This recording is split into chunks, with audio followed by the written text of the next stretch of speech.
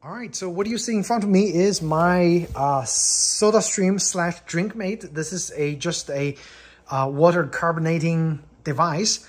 Many different brands makes it. And in this video, I want to give you guys a kind of two-year upgrade on what I did uh, in my initial first video when I converted the super tiny replaceable, I believe one pound can um, into this 20 pound gigantic um, uh, how do you call it, liquid CO2 tank, okay? The last tank worked for more than two years, I believe. And I literally just went in this morning, I exchanged my old can with this one. Uh, it's gonna continue to work for another two years. Um, the biggest thing that I want to say is how cheap the replacement 20 pound can, you know, tank is. This whole tank cost me $30, okay? If you guys are still using the small, tiny, replaceable, you know, um, DrinkMate can or SodaStream can, that one pound can, that one pound can costs close to, I believe, 12 to $15 each. You buy two pounds of those cans, um, it only lasts, you know, maybe two months. This 20 pounds lasts me more than two years and it's no brainer. This costs $30. So literally you're gonna save money after two cans.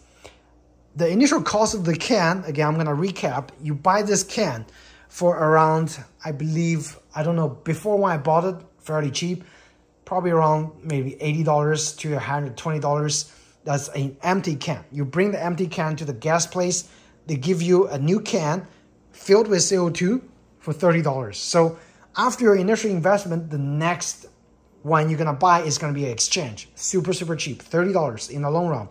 Every two years, just 30 more dollars. So if you're making a lot of carbonated drinks, okay, at home, stop buying those one pound cans, okay? Just get a kit, like this kit converts the, um, this kit comes with this little converter, okay, which is what you use to hook with this airline, this airline connects to the big tank. And that's all you need to start saving money. If you're if you guys are interested in reading how the whole thing works, you can look at my previous video. Um, and again, I'm gonna have the whole kit on where you can get, you know, the converter and this converter to hook it to your DrinkMate or Soda SodaStream machines um, in the description below. And uh, if you want to see how well it works initially, go check out my initial video. But this is just an update video on how well the whole setup worked. Two years, zero issues, super easy to do. And for any of you that are thinking, oh, is this CO2 clean? Yes, those gas companies supplies gas to hospitals, supply gas to industrial application. They also supply gas to restaurants. So there's no clean CO2, there's no dirty CO2, it's just CO2 liquefied.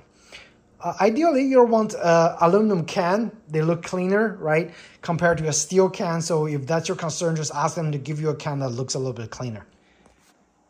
And just want to prove to you guys that this setup just simply works. One pressure line, um, you know, compression less, and one adapter over here and you hook it up to the big can. Now we just need to turn on the can. Pressure is connected. All I need to do is just press. Oh my God. Three press. It's already pressurized. Um, and I'm gonna turn it off. So when it's when it works normally before, we need to press like four or five times. And this time I only pressed three times. It's already fully pressurized. That's how crazy full this tank is. Eventually, once the pressure goes really low, I have to press like 10, 12 times. Um, and then it gets pressurized, it gets uh, the extra air to be relieved. But this one, literally three press is full. Um, so yeah, it works. Um, again, guys, if you found this video helpful, hit the thumbs up button and subscribe to my channel to support my efforts. Thanks again, and I'll see you in the next video. Take care.